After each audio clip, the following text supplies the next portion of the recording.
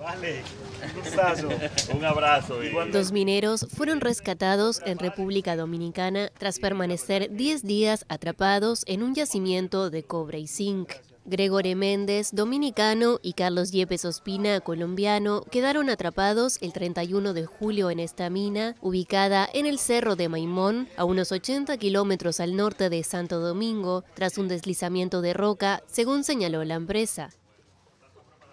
Estamos con buenas condiciones pues en, el túnel, ventilación, hidratación, alimentación, todo. Entonces estábamos durmiendo también pues cómodos, por decirlo así. Entonces eso hizo que la estadía de nosotros ahí no haya sido pues tan, tan mala.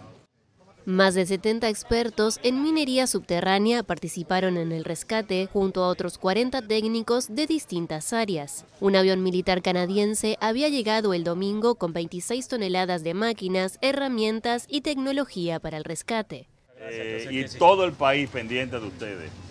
Eh, así que muy contento. El heavy. El heavy. Y el, Chimba. Bueno, bueno, el Chimba. Antes de partir, el presidente rezó con ellos y el equipo de rescate y posó para fotos. Ambos fueron trasladados en helicóptero a un centro médico para chequeos.